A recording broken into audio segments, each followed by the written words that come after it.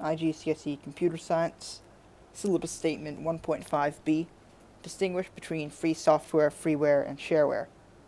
So, um, free software, freeware, and shareware, different types of software. Um, so we'll look at each of these, um, and yeah, that's it. We'll look at them. Um, so, yeah, yeah, let's, let's just get started. There's no introduction needed. It's just okay. So in free software, um, users have the right to run, copy, change, or adapt it. The user is guaranteed the freedom to study and modify the source code of the software, um, and they are also allowed to pass modified or unmodified source code on to others, and of course use source code in their own programs as well. But users aren't, aren't allowed to add source code from software which isn't described as free software. So if um, you take free software and you add, like you add source code from something that isn't free software, that's not allowed.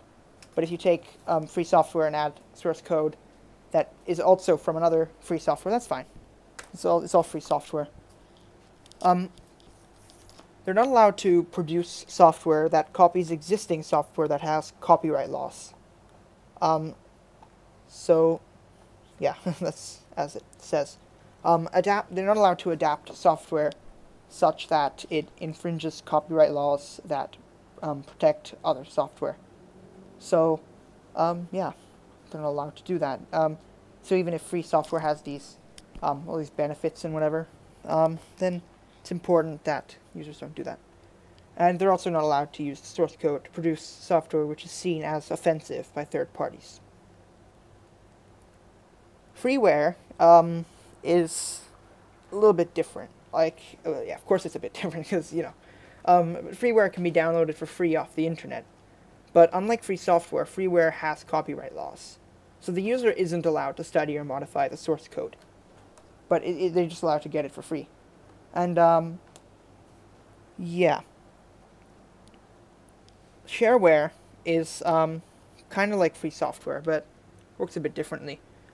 Um, so users are allowed to try this type of software for free, but for a period of time. And at the end of this time, the user must pay a fee to continue using it. So you kind of we kind of see this like when they say, "Oh, 30-day trial for the software," and then at the end of the 30-day trial, "Oh, your trial is up, but you can buy the software." It's kind of like that. So um, when the fee is uh, when the fee is paid, um, then the user is registered with the software originator, and um, the users offered free updates and uh, software support. And also in many cases, the um, trial version of this type of software is missing features which the full version has. It's also important to know that this type of software is fully protected by copyright laws. So the user is not allowed to um, use the source code in any of their own software, and permission must be obtained by the software originator um, in order to share this type of software with um, other people.